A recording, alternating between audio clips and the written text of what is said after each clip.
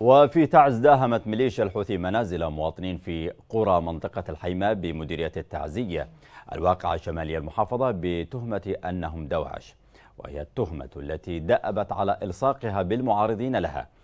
وقالت مصادر محلية أن ميليشيا الحوثي داهمت بعدد من الأطقم وعشرات المسلحين منازل مواطنين في الحيمة وقامت باختطاف العديد منهم.